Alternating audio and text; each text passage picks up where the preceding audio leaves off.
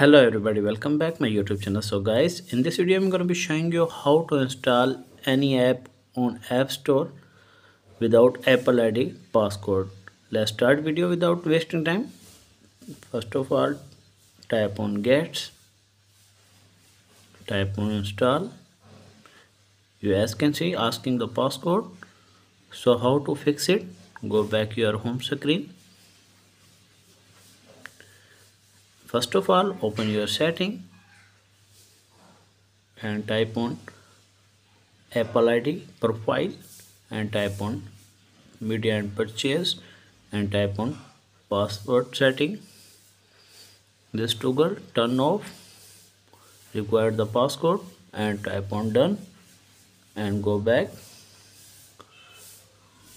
and type on screen time scroll down type on content and privacy restriction and this toggle turn on content and privacy.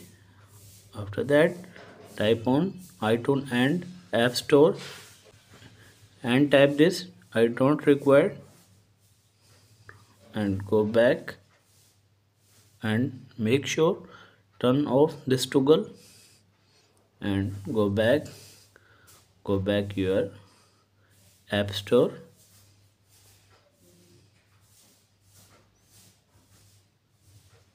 Scroll down.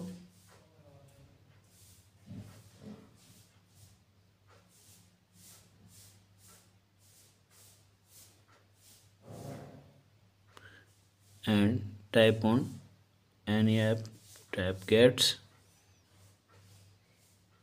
And tap on install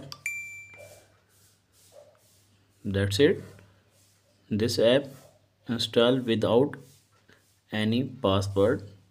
If the video is helpful then like and subscribe my channel. Thanks for watching